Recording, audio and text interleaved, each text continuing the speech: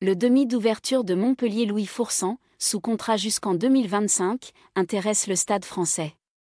Il est également suivi par Agen en Pro D2. Où jouera Louis Foursan la saison prochaine?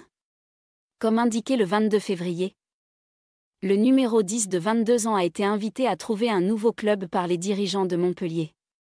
Il est pourtant sous contrat jusqu'en 2025 au MHR où il évolue depuis le début de sa carrière professionnelle après avoir fait ses premiers pas à Nîmes. Plusieurs clubs de Pro D2 se sont positionnés dont Aurillac, qui va enregistrer le départ d'Antoine Aucagne à Perpignan, mais aussi et surtout à Jeun, entraîné dans quelques mois par Sébastien Calvet. Actuel sélectionneur de l'équipe de France des moins de 20 ans, qui en a fait une priorité. Selon nos informations, un autre club, de top 14 cette fois, a récemment manifesté son intérêt. Il s'agit du Stade français, qui souhaite se renforcer à l'ouverture.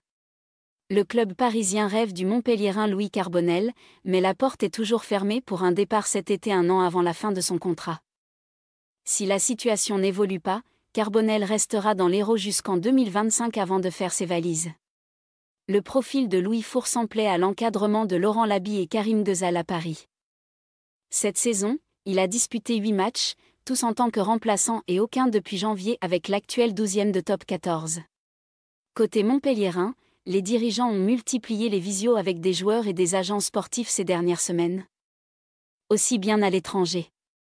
Comme déjà indiqué sur notre site, seul le demi de mêlée de Montauban Alexis Bernadet 22 ans a donné son accord pour les trois prochaines saisons.